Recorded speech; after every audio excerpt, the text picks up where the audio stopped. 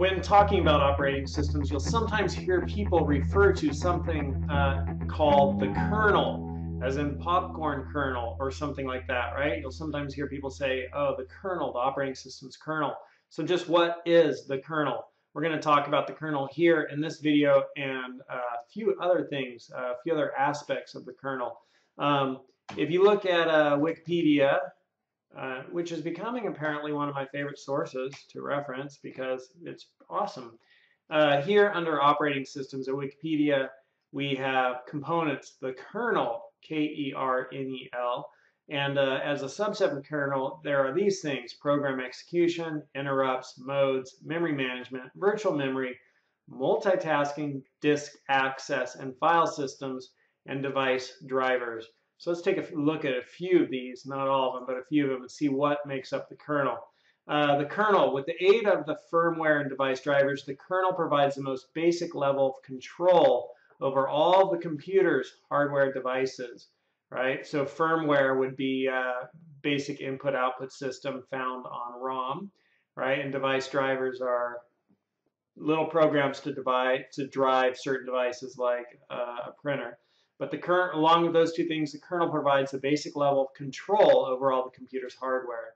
It manages memory access for programs in RAM, so manages memory access, determines which programs get access to which hardware resources, and sets up or resets the CPU's operating states for optimal operation all the time.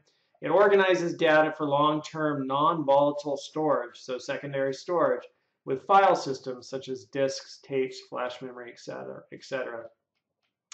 So uh, let's look at a couple of uh, couple of different things here. Memory management.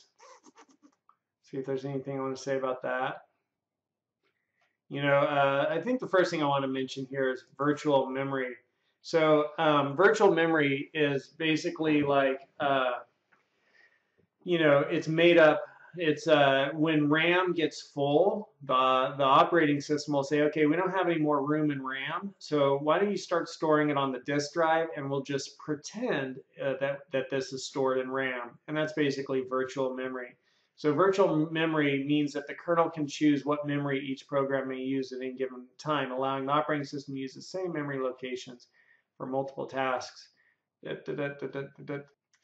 Memory which is accessed less frequently can be temporarily stored on disk or other media to make space available for use by other programs uh, in RAM. That's called swapping. An area of memory can be used by multiple programs and what that uh, and what that memory area contains can be swapped or exchanged on demand. So virtual memory provides the programmer or the user with the perception that there is a much larger amount of RAM than there really is in the computer. And uh, so again, if RAM gets full, uh, the operating system will start dumping stuff onto the hard drive and it'll just say, oh, let's just pretend that this area of the hard drive is also RAM. That's virtual memory.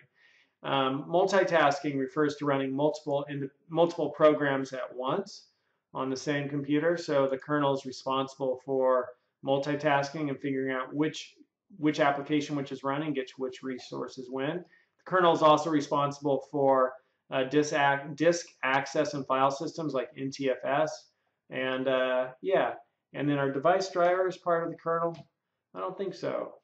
Oh, they are. They are included in the kernel. I don't know if I would include that in the kernel because those are kind of separate from the core part. But the main way to think about the kernel when you hear people talk about the kernel is that it is uh, just sort of the core part of the operating system. It's the core central part of the operating system, and uh, and it does things like you know, memory management, creating virtual memory, uh, managing different applications, multitasking, so running different applications at once, the file systems on disks, um, you know, and uh, and running programs. So that's what the kernel is, just kind of a phrase which is good to know about when talking about operating systems.